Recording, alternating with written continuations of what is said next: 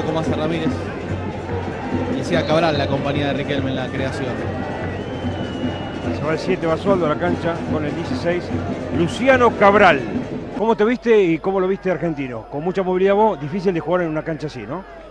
Bueno, el árbitro tenía miedo de jugar el partido, ¿no? Ha hablado con nosotros antes del partido.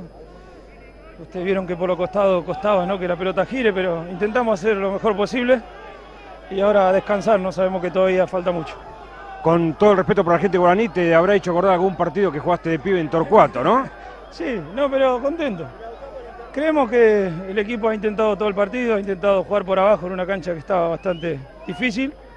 Pero bueno, nada, el arquero de ellos ha sacado dos o tres pelotas muy buenas y no pudimos ganar. ¿no? Le pusiste la tapa a todos los que decían que no ibas a jugar de visitante. No, yo no miro, verdaderamente no.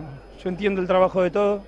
Yo intento hacer mi trabajo lo mejor que puedo y estoy contento acá en Argentina, así que esperemos seguir disfrutando.